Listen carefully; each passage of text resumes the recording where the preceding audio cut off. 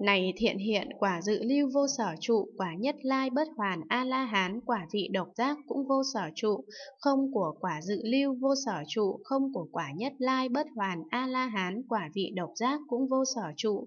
Vì sao? Này thiện hiện, vì quả dự lưu không có tự tánh chẳng thể nắm bắt được, quả nhất lai bất hoàn A-la-hán, quả vị độc giác cũng không có tự tánh chẳng thể nắm bắt được, không của quả dự lưu không có tự tánh chẳng thể nắm bắt được, không của quả nhất lai bất hoàn A-la-hán quả vị độc giác cũng không có tự tánh chẳng thể nắm bắt được, chẳng phải pháp không có tự tánh chẳng thể nắm bắt được có chỗ trụ vậy.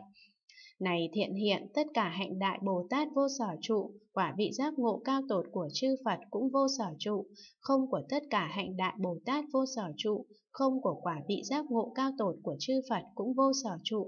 Vì sao? Này thiện hiện, vì tất cả hạnh đại Bồ Tát không có tự tánh, chẳng thể nắm bắt được. Quả vị giác ngộ cao tột của chư Phật cũng không có tự tánh, chẳng thể nắm bắt được. Không của tất cả hạnh đại Bồ Tát không có tự tánh, chẳng thể nắm bắt được. Không của quả vị giác ngộ cao tột của chư Phật cũng không có tự tánh, chẳng thể nắm bắt được. Chẳng phải Pháp không có tự tánh, chẳng thể nắm bắt được, có chỗ trụ vậy.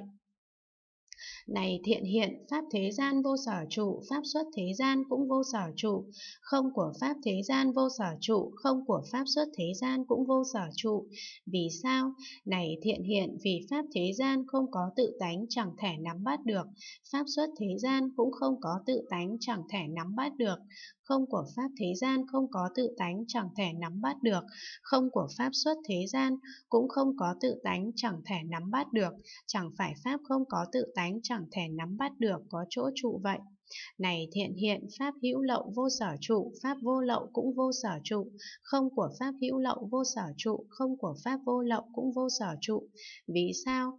Này thiện hiện, vì Pháp hữu lậu không có tự tánh chẳng thể nắm bắt được, Pháp vô lậu cũng không có tự tánh chẳng thể nắm bắt được, không của Pháp hữu lậu không có tự tánh chẳng thể nắm bắt được, không của Pháp vô lậu cũng không có tự tánh chẳng thể nắm bắt được. Chẳng phải Pháp không có tự tánh chẳng thể nắm bắt được có có chỗ trụ vậy. Này thiện hiện, Pháp hữu vi vô sở trụ, Pháp vô vi cũng vô sở trụ, không của Pháp hữu vi vô sở trụ, không của Pháp vô vi cũng vô sở trụ. Vì sao?